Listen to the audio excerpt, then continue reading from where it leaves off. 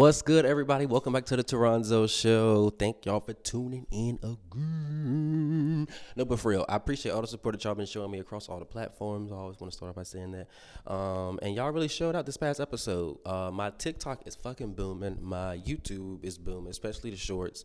Um, Facebook, y'all showed out. Instagram, y'all showed out. Thread, y'all showed out. Y'all always retweet me on Twitter. I really appreciate all the support. I cannot say it enough. Y'all only driving me to do more shit. Um, a couple of things. I have a lot of stuff to talk about actually, but I first want to start by saying I appreciate everybody who reached out to me um, when I was sick because y'all know I had the flu and I was really fucked up. So people was reaching out, asking me was I okay, offering to send me stuff, and I only can appreciate that from the bottom of my heart. If you motherfuckers did not reach out to me, ask me was I okay, I hope your next condom gives out on you, and you'll deal with the consequences of whatever that comes.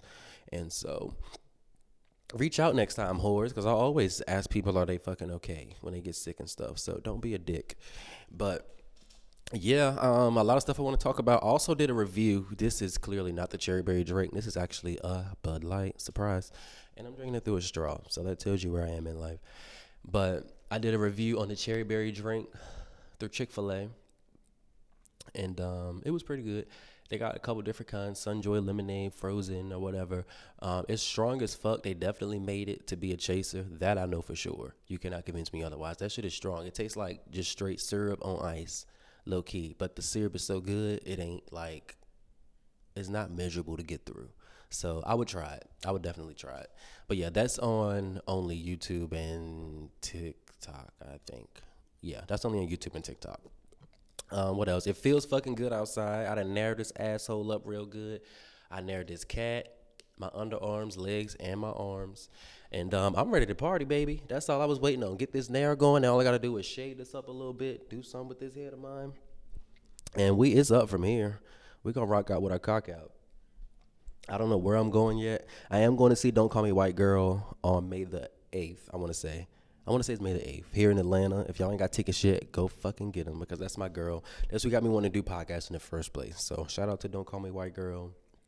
Um, and yeah, a lot of stuff I want to talk about today. One of the main things I want to start with is I've been seeing over the last couple of weeks how messy people have been being on fucking social media, like telling each other's business on show, on social media. There should be no reason where you and your friend or family there should be no reason when you and your friends or family are arguing on social media back and forth and y'all airing each other's business out when y'all both got each other's phone number and or each other's address. That does not make any sense. And it's kind of disgusting and tasteless, and you bitches have no class at all. There will never be a situation where me and my friend arguing back and forth on fucking social media telling each other's business and then you expect me to be friends with this motherfucker again a week after that? Are you kidding me? No. Fuck you after that. And you're lucky I don't try to come and fuck you up because who does that? Y'all are weird and I guess y'all kind of align yourself with anybody, but we don't get down like that over here. Nobody needs to know that your baby daddy missed his last three child support payments on Facebook, and nobody needs to know that your baby mama sold three hundred dollars worth of food stamps to get a bald headed ass hair done. It just does not need to happen mind your business. And if you cannot mind your business in between you and somebody else, go to that person and you hash it out with them. You don't take shit to social media and then y'all get mad on top of that that people have so much input about your life or stuff that you're saying or the stuff that you're posting is because you done told them every goddamn thing. And of course they're gonna form opinions about you because you are forming you form the opinion of you. So it doesn't make any fucking sense. But yeah, it's just the dumbest thing even down to when people be posting like their kids, like when kids do something bad, or you know they do something like in school and they call themselves recording the kids and you know embarrassing them and stuff like that. That is the most disgusting. The parents need their ass whooped, to be honest. The ones that's doing stuff like that, because can you imagine? And then on top of that, if the kids, okay, the kid go and commit suicide. Though here at the Toranzo show, we do not condone any type of suicide, anything like that. But shit does happen, and you put yourself, you put your child in that situation, and or your parents. I done seen kids, you know, post they, you know, parents' business and stuff like that on there too, and they do something to harm themselves, or you know, you out like a DL guy and stuff like that. People actually fucking off themselves, and then you got to deal with that responsibility and that weight in your head, and I don't know. It's just a lose lose for everybody. So please stop telling each other's business on social media. That is disgusting, tasteless, and get some fucking class if you one of the people that's doing it. And if you see somebody doing it, tell them to stop. Reach out to your aunt, sister, grandma, and tell them, hey, I think you should take that down. You know, everybody doesn't need to know that. I think that's a little too personal, you know, to put on social media. You might need to go ahead and have that talk in person. Stand up. Motherfucker. Stand up and say something. Yeah, because I don't like stuff like that. Now, I ain't gonna lie. I am from the ghetto and from the hood. The lives be funny. Some of the lives do be funny when they be airing each other out and you know being messy and talking and shit like that. But that's just the inner hood. I mean, they're probably gonna go gonna go nowhere no time soon. Um, especially if I don't know y'all niggas. If I know y'all niggas, I'm probably you know my family would say something. But yeah, if it's just strangers arguing on live, I'm gonna definitely watch it and I'm gonna key about it. Are you fucking kidding me? Free entertainment. Hello. Uh, another thing I'll wrap real quick. Hair tips. So I want to give y'all um, a couple of hair tips. I don't know if any of y'all are struggling with like dandruff or I don't know. You, it's hard for your hair to get you know detangle and you know stay moisturized and growing. If it stops growing at all, some of the stuff that I've been trying, I've been using natural raw um, vinegar. I've been using raw vinegar, and basically you just like spray it into your scalp, massage it around, you know, comb it out, and literally instantly fucking detangles. I'm kind of convinced at this point that conditioner is made of vinegar. The way it detangles your hair so smooth, it's the weirdest shit ever. And then it gives like a nice little shine. Of course, everybody know vinegar stink, but once you, you know, wash it, you know, move it through, comb it out, and do everything, the moment that water comes in contact with vinegar, the smell immediately goes away. So you don't have to worry about your hair smelling like vinegar or even have to go behind it with any shampoo or anything. After I use the vinegar, I've been doing clove water. So basically, you just buy a little cloves from like, um, I don't know, whatever grocery store y'all niggas near. I like Food Line, but I'm here in Atlanta where they don't really have much of that, which fucking sucks. I miss you, Food Line. Shout out to y'all. But yeah, go to your local grocery store and get you some cloves, like the whole cloves, and put the motherfuckers in some water. I'll put the um, details at the bottom of how much you're supposed to put to how much water or whatever. But you boil it and then you just let it sit, kind of like a tea bag. You stir it up, and then yeah, you take that water and you just spray it, kind of like a leave-in conditioner. It smells so fucking good, y'all, and it make your hair just so smooth and moisture. And I ain't seen no fucking dandruff since, uh, honestly.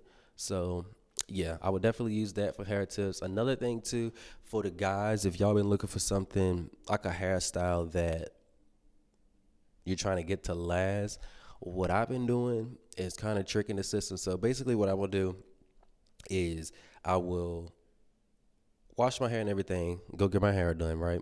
Go get my hair done, I'll get two strand twist. After like a week and a half of the two strand twist, I will do a twist out. So the two strand twist is one style. And actually, that's a lie. I get like five styles out of it. So what I would do for like the first week, I wear the two strand twist down, right? And then once they start to kind of get a little raggedy, because I don't like wearing do rags.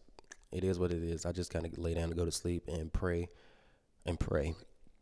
Um, and so yeah, do the two strand twist for like the first week, and then after that, I'll do a twist out. So now I got a cute twist out. It's like curly, you know, whatever, and that works out. And then after that, once that started to look like shit, I'll take the twist out, which is like curly Hawaiian look. I'll take that motherfucker, put those, put that hair in like four ponytails, kind of like this. So now I got another hairstyle, four ponytails, rock that motherfucker about three, four days. Then after that, you wash it, blow dry it. Then I wear my afro out for like two, three days. Then I'll take my hair like this for another two, three days with the ponytails like this. And then I get it done again. And nigga, that's fucking what? Well, we up to like six, seven hairstyles out of one. And you only paying for one of the motherfuckers. That's a two strand twist. Unless you learn how to do it yourself, which I used to, but I ain't really got time to do my own hair. I hate, hate, hate, hate, hate doing my own hair. I do anybody else's. I started a couple of my friends' dreads, and I used to do two strand twists a lot on some people in when I was at a seven five seven. But I hate doing my own hair, even though it always come out good. But yeah, that was a couple of hair tips for y'all. I'm still not over painkillers. Y'all let the Sackler white. Mm, I can't. I don't know what I can and can't say. Jesus, fix it. But I'm not over there yet. I'm still not over painkillers. Everybody, please stay off of Oxycontin. Stay off of Oxycontin. Stay off of Oxycontin. I don't even know if the niggas still selling it, but they didn't traumatize the fuck out of me watching painkillers. I'm probably gonna watch it again and re-depress myself. I don't know what is that cognitive. I don't know what that is, but um, I don't know. I'm just not over it, y'all. They fucked up so many people's families. It was little people. Nigga, you can fall and chip your fucking tooth. They're gonna give you Oxycontin. You can skin your knee. They're gonna give you Oxycontin. Grandma fall down the step. Well, she probably would need Oxycontin at that point. I don't know. They, they were just like little stuff. They was giving niggas Oxycontin for any goddamn thing. People actually getting fucking addicted to it, and it was heroin. But now we're on fentanyl. Not we, but they're on fentanyl now. So I guess I don't know which is the lesser of two evils, to be honest. Um, let's see what else do I have on here for y'all. Oh, I didn't like how. So y'all know how like it's like a big rap beef, uh, a big rap beef going on right now. I did not like how everybody was praising Chris Brown for saying what he said about Quavo. How he was saying that he wish everybody was saying that they wish they would have took Quavo instead of Takeoff. Like they would rather Quavo would have died instead of Takeoff. Um, but when all Nicki said was when she was talking to Megan Thee Stallion, you lied on your damn mama. She didn't say the mama bitch was raggedy, that she used to suck dick, she was a whore or anything. She said you lied on your mother who is deceased. That's all she said. And she got so much backlash and flack, and they call her so many bitches and bitter betties and all this kind of stuff. But when Chris Brown said what he said, I wish you was dead, nigga, instead of that nigga what? And he got so much praise for it. That was just so weird to me. Even though Chris Brown, you ate that nigga up for sure. Speaking of rap beef, you might as well dive on into the next one, which is Kendrick Lamar. Um, he recently put out a track called Euphoria, which was a diss against Drake. And I will start off by saying this. I fucked with Push Ups, which was Drake's diss towards Kendrick Lamar. But I want to say this I didn't fuck with Drake's diss song as a diss song. I like that as like an actual song. Like, had I never known Kendrick Lamar and I would have just heard that song randomly one day, I would have still liked that song because it's just a good song. It's catchy. It sounds good. Drop in, give me. You better drop in, give me. Drop in. I thought I had my hair in, but I mean not my hair in, but my you know two string. Um, oh, sidebar. That reminds me back. I was on Facebook Live in like 2018, and I had my um thing go, and I think I just started like growing my hair out and had like a mini afro, and the guy was like, "Are you transitioning?" And I was like what? He was like, yeah, are you transitioning? You're trying to be a woman. And it's because I had like the scar. I don't know. Anyway, he thought I was a transgender, but I'm not.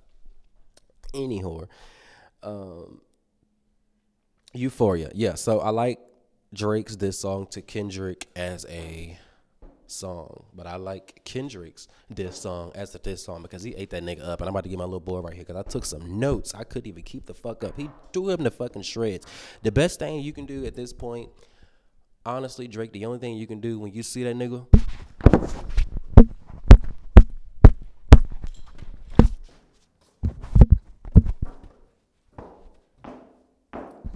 That's all you can do. He fucked you up bad. When I tell y'all he hate he hates Kendrick. I mean Kendrick hates Drake so much so the nigga looked at him and said, "I hate the way you walk. I hate the way you talk. I hate the way you dress. I hate the way you say nigga." He's not even a well. I'll let y'all be the judge of that. Do y'all think Drake should be able to say nigga or no? I'm probably leave that in the comment at the bottom. I want y'all to comment that. Do y'all think Drake should be able to say nigga because he's half black, right? Enough. Which I don't know how black. Well, black is black, right? I feel like Drake is black. Ish. Give me a moment to fester. His mom is white. His dad is almost white. I don't know, Drake. Maybe say like ninja. Maybe say ninja from here on out until we can confirm exactly what the hell is going on with that. But he fucked you up. He said, How many more fairy tales he he really played into that whole um, Drake ain't black thing. This nigga said, "How many fairy tales until we had enough? Like how many fairy tale stories did we got to hear? You know how Drake always got a story about him."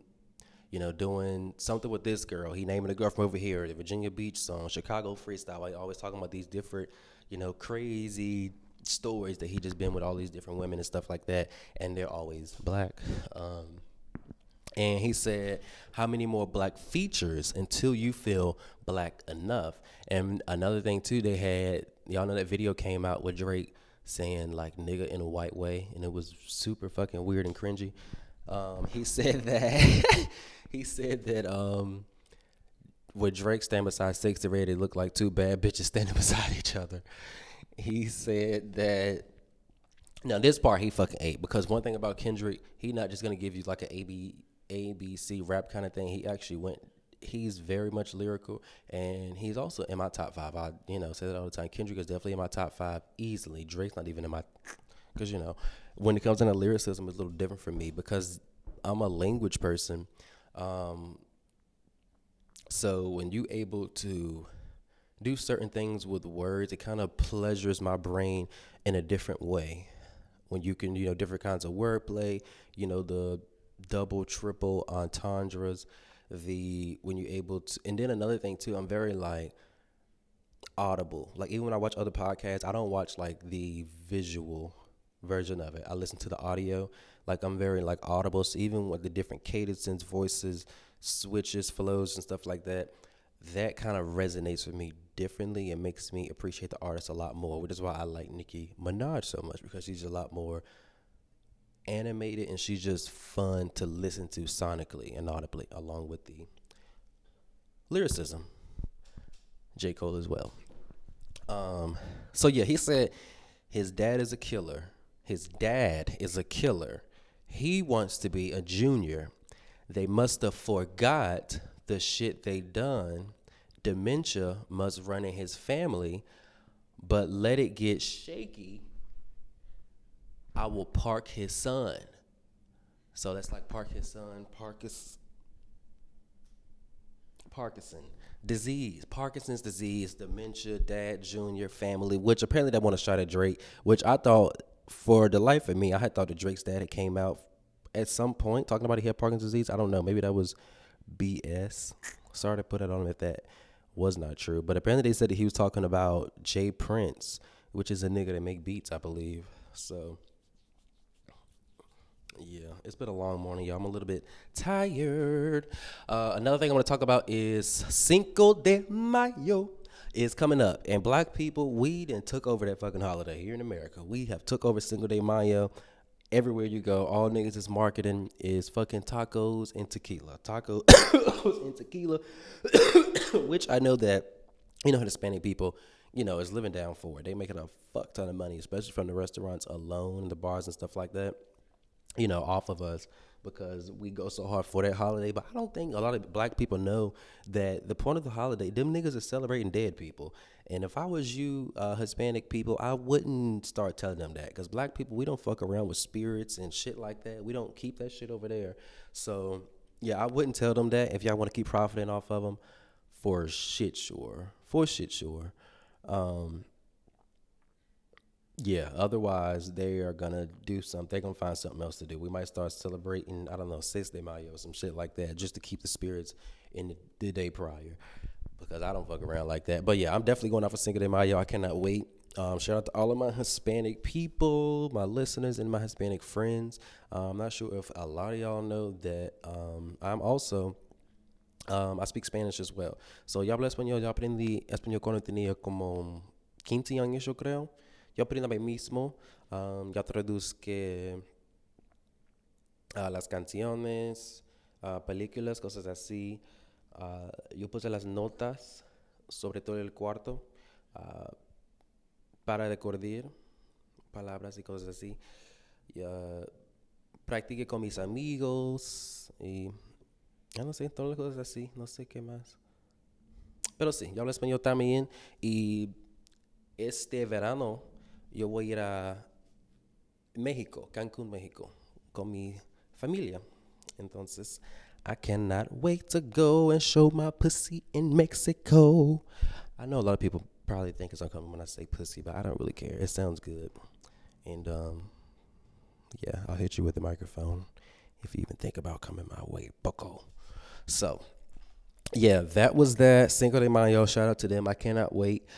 Um, I have really been enjoying my new apartment. I cannot explain or tell y'all how much, or I don't know what the fuck I'm trying to say. I suck at explaining if y'all cannot uh, tell that by now. But no, I cannot wait to go back onto my rooftop. I've really been like, if y'all, my friends are listening right now, none of my friends have been here to see me yet in Atlanta. I don't think. At fucking dickheads.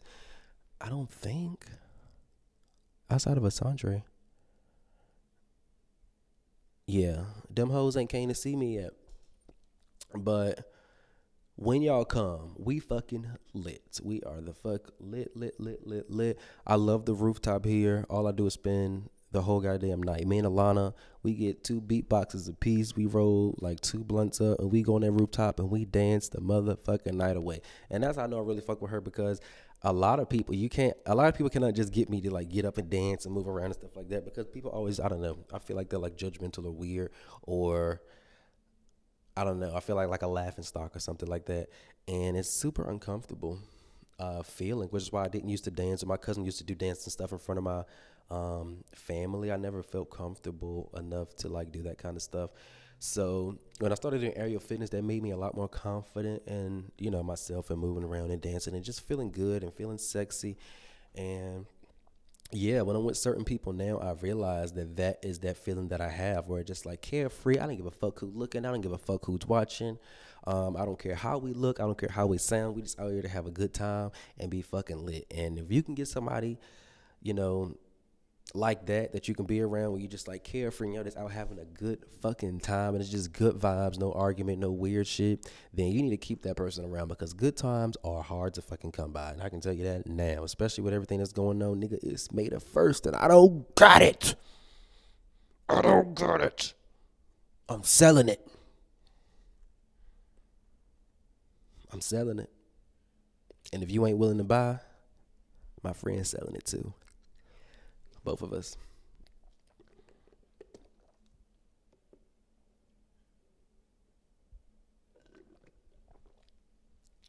However, we're gonna tell her we're selling her first. I'm like very much runner up, more so than like the madam, or what would you call it in like the guy version. I'm like the mister, so I can get y'all a good piece of pussy for a pretty reasonable price. Um, and if that doesn't suffice, that I can give maybe a I can give like a third of a hole up, not the whole hole, like a third of it, and I can do the tip from the front part. So that's the best I can offer, and that's gonna run you forty bucks. Say forty dollars. No, I'm just kidding. I ain't selling no ass until I'm thirty. I got three years to go, baby. Um, that is all the top. Oh, that's just literally not true. All right, so I'm gonna do my um my side topics actually, y'all hairball. What the hell is this? Uh, it's the cold coming back. Um, and also, this is a new different room. Shout out to my apartments for having all of these nice different rooms. It's probably gonna have a different background for at least the next two, three episodes. Because I got so many rooms here for me to record.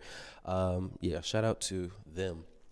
Uh, do my three segments to get them out the way. The first one, of course, is kudos. I shout people out every episode. This week, um, everybody been saying I only do women, but that's not true because I did Katt Williams one week. You fucking misogynist, sexist shit.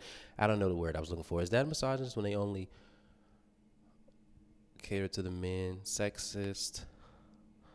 I don't know. Close to racist. Just tread lightly, motherfucker. Um, her. So this week, kudos is going to her. H E R. That is my girl. Um, she sounds fucking amazing. The talent level is through the roof. She sound good live. She sound good on the songs, and her collaborations are amazing. She writes her own music. She does guitar.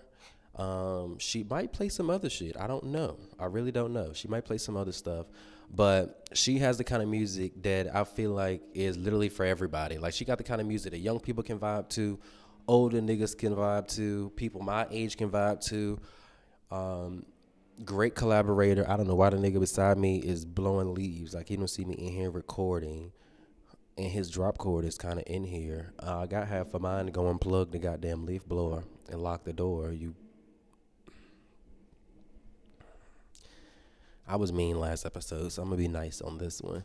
But he know better than that made me forget what I was saying. Her, yeah. So yeah, she's amazing. I want to. I'm gonna give a couple of songs by her. I would say my top songs are "Comfortable," "Damage," um, Slide, could have been with Bryson Tiller. Um, Girl Like Me with her and Jazmine Sullivan. And I first seen her, she opened for Chris Brown back in Raleigh, North Carolina. This was like 2019, 2020, right before COVID happened. And this when she was still doing like the weird, I don't want to show my face, which I get it. Um, you know, she wanted everybody to love her for her music. And so I do get that. And I fucks with that heavily. But I didn't know who the fuck she was. I was like, I don't know who this girl is, but she looks great and she sounds fucking amazing. And she was doing Focus. I want to say she was doing Focus, the song Focus at the time. I didn't know who this motherfucker was. And I was like, who is this? She sounds fucking good. But she wasn't like, you know, big, big yet. At least, you know, I didn't know her at the time. And full circle moment. Now I'm a huge fucking fan. That's happened to with me to Teyana Taylor. That happened to me with SZA. That's happened to me with a couple of people actually, where it was like, damn, if they only knew how huge of fans that I am now, and when I seen these niggas live, I was just like, oh, they're pretty, they sound great, and I just kept walking. Like, okay, I was going to like you know the big act. I didn't know who these niggas was, so it's kind of wild. But yeah, shout out to her. I did do an honorable mention as well to Marsai Martin. I hope I'm pronouncing her name right.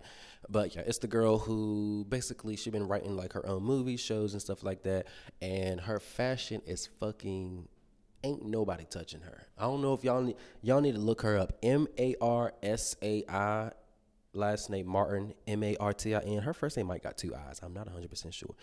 But yeah, she looks fucking amazing. I just went to her Instagram and I just was mesmerized by all of like the different outfits and she really switched it the fuck up. Shout out to her for her style.